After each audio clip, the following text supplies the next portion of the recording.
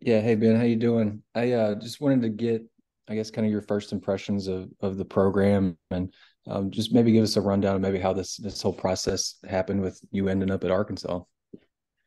Yeah, um, coach. You know, Coach Pittman reached out to me after our last game when I was at the University of Louisville.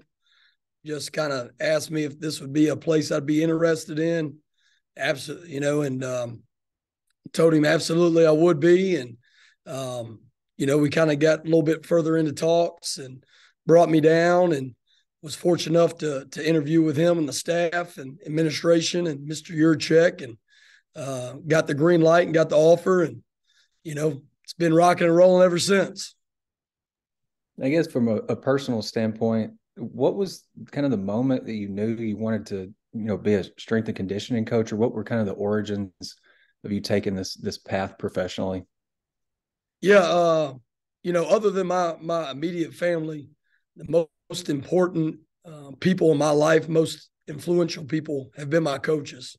You know, from the high school level to the collegiate level to the coaches that I've you know been fortunate to be around in, in this profession.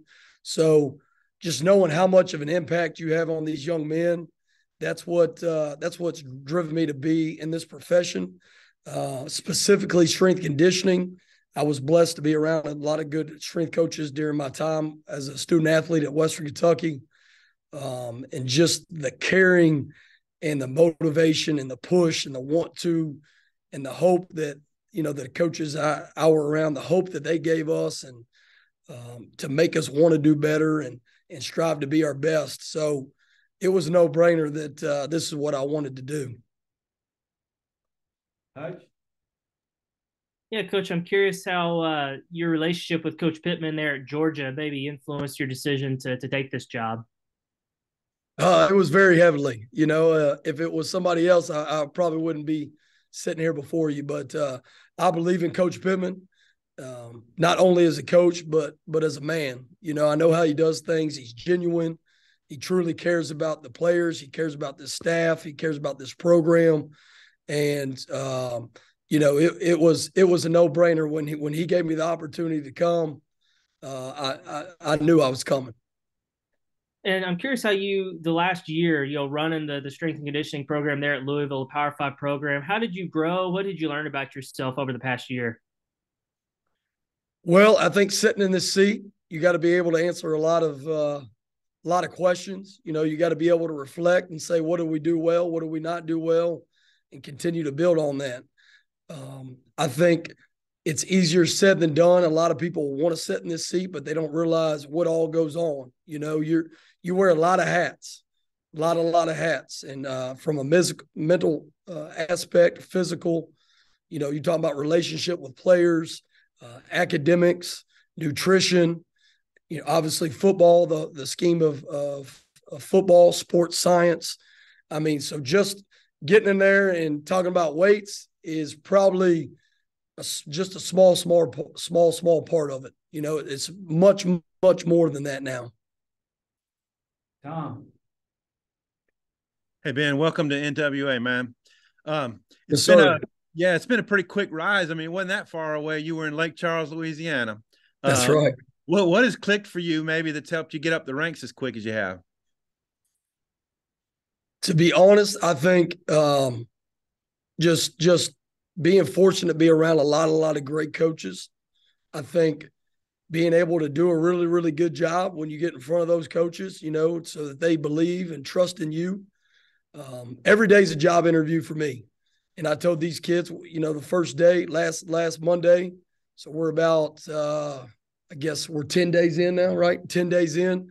So last Monday when I when I showed up, I told them, listen, you're gonna get my best every day and I expect to get yours. You know, I'm gonna respect you, but you guys are gonna have to respect us. You know, and we're on one mission, and this is to make a championship uh, caliber program. You know, anything less is is not good enough. You know, and so setting the tone. But going back to that, I think it's just doing the best job you can, no matter where you're at.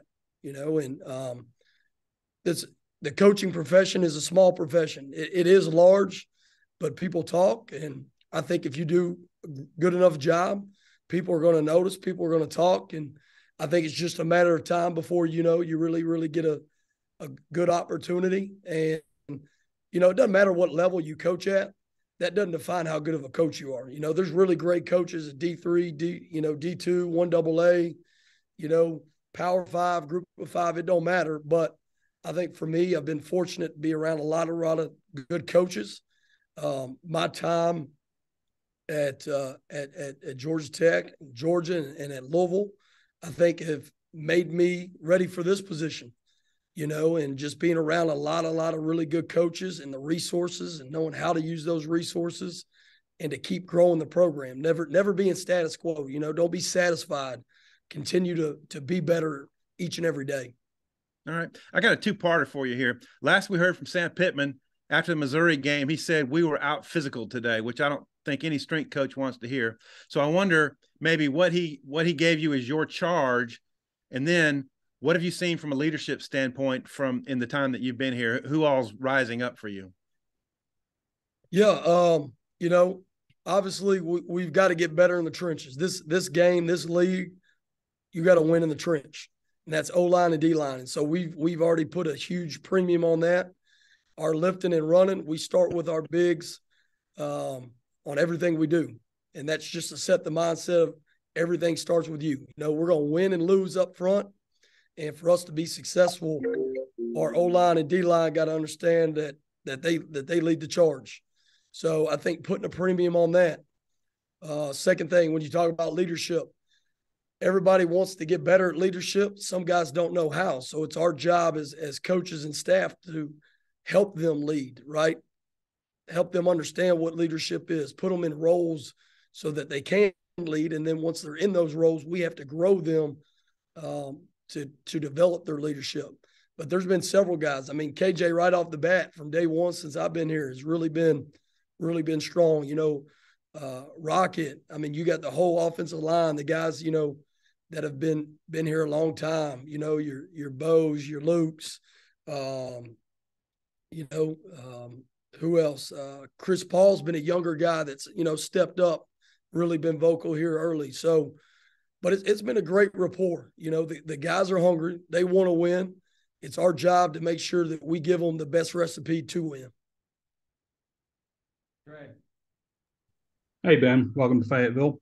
Um, I was curious, you've seen a lot of facilities. I was curious what you thought about Arkansas's facilities, what you have to work with, weight room, and, and all of that stuff. Yeah, I mean, first and foremost, our, our facilities are unreal, you know, especially with football only complex, stadiums unbelievable. Just, our stadium's as nice as you're going to find in the country. And I honestly believe that. Our, our practice services are great. You know, we have an indoor, we have at, outdoor grass, outdoor turf. So, you know, multiple fields to practice on.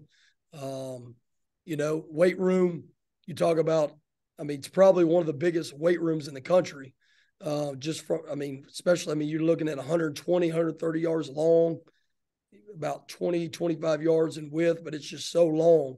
We have 20 racks. You know, there's some things that we're gonna we're gonna upgrade and, and do, and some pieces that we're gonna add to it. But at the end of the day, a 45 pound plate from 20 years ago, or one that rolls right out of, out of a factory right now, they're still the same weight.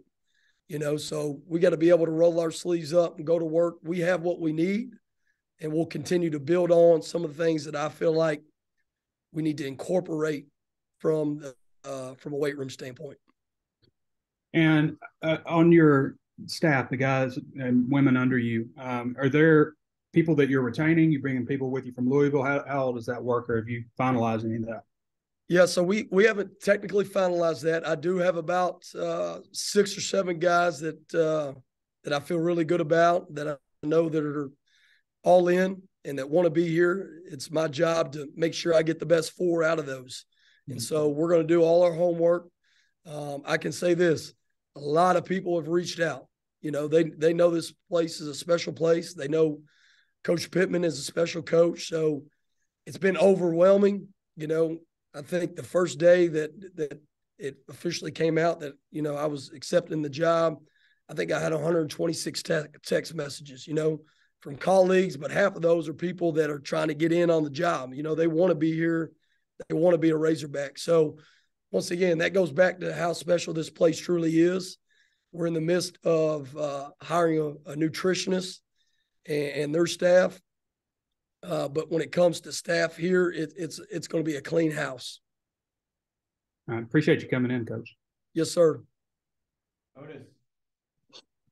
Uh, welcome to Arkansas, Coach. Hey, I've got Yes, a sir. question. Just when Sam Pittman got the job, he had some. Two, he inherited some 280 pound offensive lineman, 270, but coaching philosophy before him. How do you? And they've gotten bigger, and, and I get that. But how do you get players, especially I guess linemen, are all players bigger, but maintain their quickness and speed? What's the key? What's some keys to that stuff? Well, you guys know, we all know at the end of the day, you got to work, right? If you're going, if you're going to get faster, right, you're, you're going to do, you know, different speed and, um, you know, di- different explosive, different plyometrics, all that. Like you're going to do that stuff. But at the end of the day, like you got to do it with all you got. So that goes back to hard work. So number one, we're going to be built on hard, hard work. Uh, to grow, uh, specifically if you're talking about our O line and D line, um, we've got to continue to use our resources. We have so many resources here that I feel like are untapped.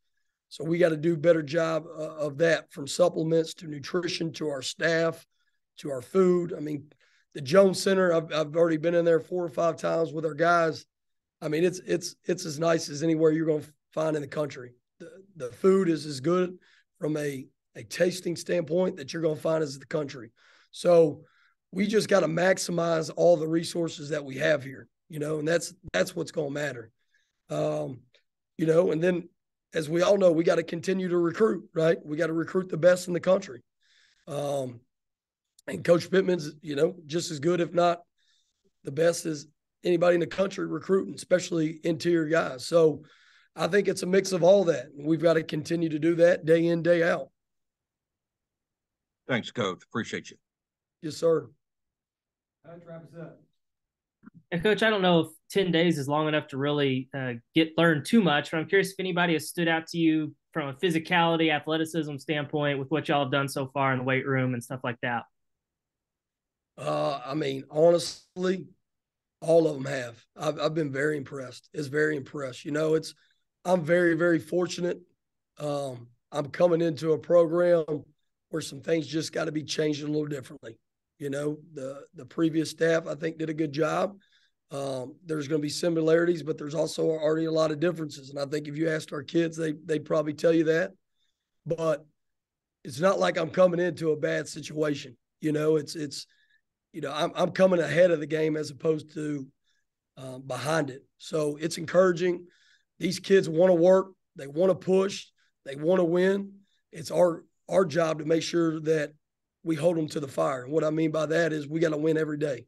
So whatever you know our objective is that day, we have to do that to the best of our abilities. And if we can do that, and we continue to do that every single day, we're going to like the results.